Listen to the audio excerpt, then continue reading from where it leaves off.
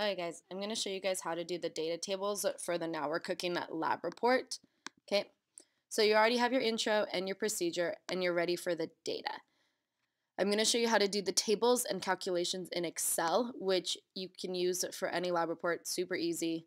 Um, okay, so the first table we need to do is uh, table one, the nutritional data. I'm going to make all of the tables in Excel just so you get a feel for it and it's just easier when working with the tables. So we have our fuel, type in all our headings. Um, we have our calories in one serving. We with the units of calories. We have our serving size in grams and we have our food calories per gram, okay, or calories per gram. We have our peanuts and our marshmallows and our Cheetos, okay? In order to spread things out so that you can see everything, you can just select it, get this little tool with the two arrows, and move the column widths so that you can see everything fine. Going to do that on all of them. Also, oh, I like my headings to be bold, so just select them and bold. Click, drag, select, and it, you can make them bold. So our peanuts have 170 calories in one serving, and the serving size was 28 grams. Okay, marshmallows is 100 calories per serving, and 29 grams. Our Cheetos were 160 and 28 grams. Notice I'm not typing anything but numbers in these boxes. Because I'm going to do math with it, Excel only understands numbers. So as long as you have the units in the heading, don't worry about putting the units down below because Excel doesn't understand that. Calories per gram, Excel can do the calculation for you. You type an equal sign that says, hey, look, we're going to be writing a function. We're going to be doing some math. So it's the food calories, okay, that column right there, divided by this one right here. Enter, and it gives you the number. Okay, so again, equals calories divided by grams. You don't even have to type it every time. See this little square down here? You can click it and drag it down, and it will automatically update the function to be what you want it to be. Now these are a lot of numbers. We don't want that many numbers. So it's this button right here that can limit the number of sig figs, okay? We just want two because that's how many our serving size had. Then we add the borders and we can copy and paste it into our lab report, okay? The next table that we have is our experimental data. Okay, so because I didn't want to mess up this one, I already set this one up in another sheet. Okay, and actually I'm going to clear this out so that I can show you guys how to do it. Okay, but here's my data. All of this, there was no math involved, so I just typed it all in, and then I used these buttons to make sure that it had the right number of decimal places, the right number of sig figs. Okay, so I set all that up. For the change in temperature, okay, it's easy down here. I have my fuel, my mass of water, and I can tell Excel, oh, that is this number right here, the final temperature, minus the initial temperature. And it will give me the number.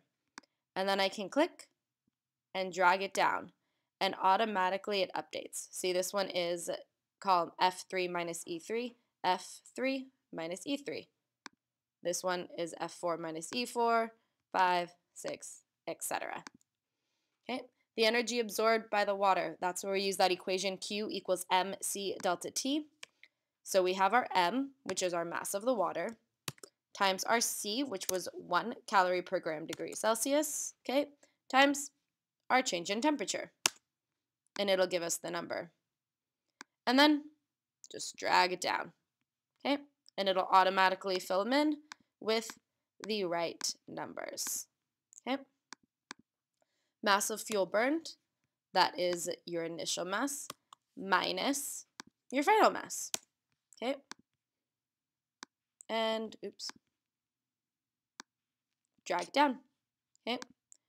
And up here you can always check and make sure that it's the right numbers, C3, so, or just click on it and it'll highlight what numbers it's using, which they are the right ones that we want it to be doing there. Now our calories per gram, calories divided by grams. Click, drag it down. Okay, I already have it set. You might get weird numbers if you get, oops, cancel. If you get weird numbers, again, just remember to use this to control how many decimal places you have. Okay, and then we can copy those over. Oops. Copy. Paste. Okay, if it does this weird thing where it goes off the page, very easy to fix. You just select the table, table layout, and auto fit it. Okay, you can auto fit it to the contents. Now we're missing the little degree sign on our temperatures. To add that in Word, you go Insert, Symbol, and you find it. There's the degree sign right there. And you just click and drag it to where it needs to be. Okay, easy to fix. Hmm, there we go. Now, table 3 is actually part of our results and calculations section of the lab report. Okay, data is just your raw data that you collect. If you do any math with it, it belongs in results and calculations. So here's that table that we had set up. Select, copy, and paste. We want to auto fit it so that it all fits. Oh, and I forgot to title that table. Make sure you title all of your tables. That was table three, calculations. Oh no, what did I do? Oh well, undo button.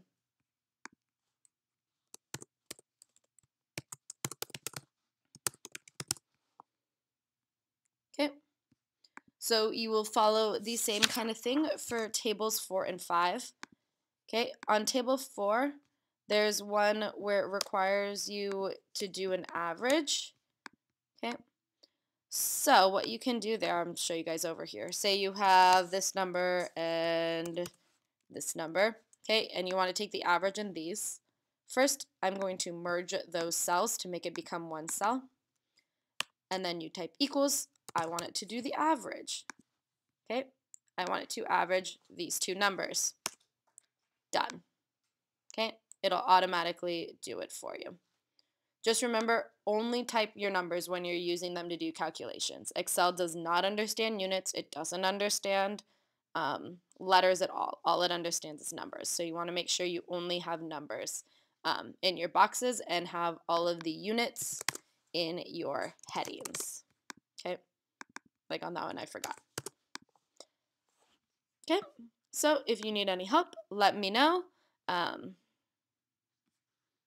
oh, I forgot this too. If you want to copy something down, like for this, I had to copy it. So I just went copy, paste. And it can do that for you too, so you don't have to type everything a million times. And you should end up with a nice, pretty lab report.